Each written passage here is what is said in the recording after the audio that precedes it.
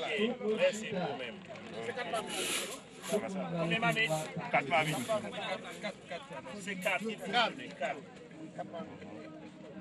Tout le monde chita pour nous s'il vous plaît.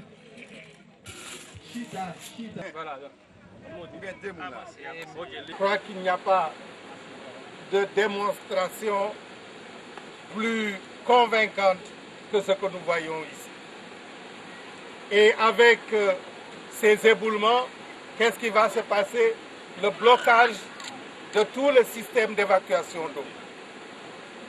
Donc il faut planter des arbres. Il faut planter des arbres, il faut planter des arbres. Faut que nous planter pied bois. Et nous allons vous aider. Et nous allons vous aider. Il a aidé nous planter pied bois. Et nous allons commencer par vous aider à faire les réparations. Nous avons les financements pour réparer.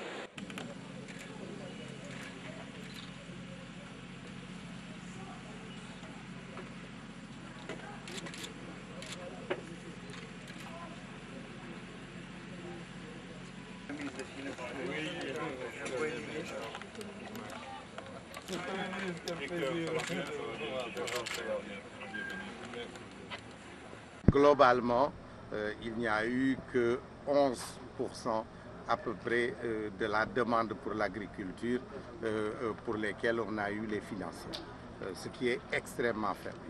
Nous avons aussi indiqué que parallèlement à l'action qu'il faut mener pour nourrir des gens qui ont faim, parce qu'il y a eu la crise notamment en, ville, il faut des actions de production locale pour pouvoir assurer l'alimentation, euh, les revenus, puisque l'économie euh, euh, haïtienne reste encore une économie essentiellement agricole.